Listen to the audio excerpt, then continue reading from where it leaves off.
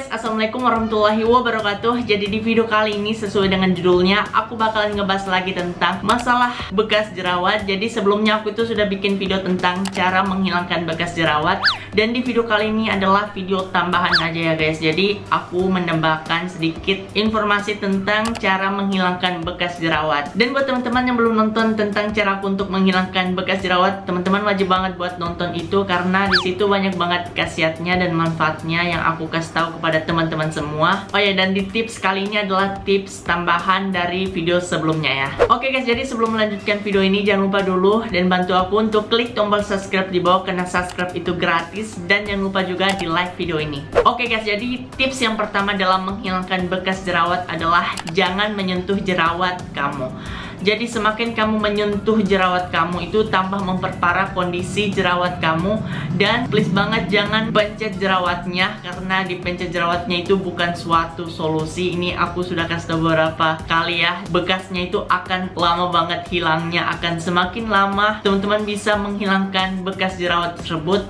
dan please banget buat teman-teman jangan sampai memencet jerawat teman-teman semua. Oke, jadi di tips kedua adalah perbanyak minum air putih. Dengan teman-teman minum air putih itu, jadi kulit teman-teman akan merasa lebih baik, akan membantu penyembuhan bekas jerawat teman-teman semua karena dalam teman-teman meminum air putih itu banyak banget kandungannya dan manfaatnya karena dengan meminum air putih itu kulit teman-teman akan menjadi lebih lembab. Kalau kulit teman-teman itu menjadi lebih lembab dan bekas jerawat teman-teman itu akan membantu kayak meregenerasi kulit ya begitulah semacamnya. Jadi please banget buat teman-teman agar meminum air putih dan minimal 8 gelas setiap hari yang ketiga adalah jauhi matahari. Bukan jauh ya matahari itu ada sisi positif dan negatifnya. Jadi teman-teman jangan sering-sering untuk uh, terpapar sinar matahari. Kalau terpapar sinar matahari itu sebenarnya sehat aja pada jam-jam tertentu. Kalau teman-teman mempunyai jerawat dan jerawat itu terkena dari sinar matahari bisa tambah memperparah kondisi jerawat kamu dan lebih kecenderung kebekasnya itu akan semakin lama untuk menghilangnya. Jadi sebisa mungkin teman-teman agar jangan terlalu terpapar sinar matahari ya. Yang keempat adalah cuci muka dua kali sehari. Ya ini aku sudah jelaskan ya kalau mencuci muka itu sangat baik banget buat kulit yang berjerawat agar kulit teman-teman itu agar lebih terhindar lagi dari jerawat. Kalau teman-teman sudah mengetahui tentang cara menghilangkan jerawat dan membuat jerawatnya itu tidak tumbuh lagi dan itu akan membuat bekas jerawat teman-teman juga akan tidak muncul lagi. Ya kayak begitulah. Oke guys jadi yang kelima adalah membuat kulit menjadi lembab. Di sini aku merekomendasikan teman-teman semua agar pakai bahan alami aja di sini aku kasih tahu kepada teman-teman semua di video sebelumnya ya agar memakai aloe vera gel.